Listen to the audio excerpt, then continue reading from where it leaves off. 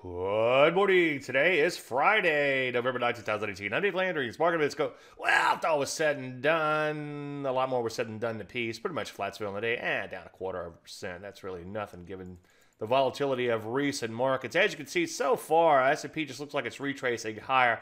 It has a bit of a witch hat type of look to it. See yesterday's day Landers the weekend charts, which should be posting soon for a lot more on that. NASDAQ, same sort of action. So far, just kind of retracing up, down about a half percent yesterday. It too looks poised to make a new leg lower. You know routine though, take things one day at a time. Stop if you heard that before. But so far, these markets just appear to be retracing higher and forming these witch hat patterns. In other words, it looks like an upside down witch hat where they tend to stall out at their prior little peak in here. Most sectors are looking fairly ugly and look a lot like the market itself, as you can see. So, what do we do? Well, I think now's the time to keep an eye out for additional shorts. Any questions, as usual, Dave at DaveLandry.com. I'm Dave Landry, and you started Market Minute.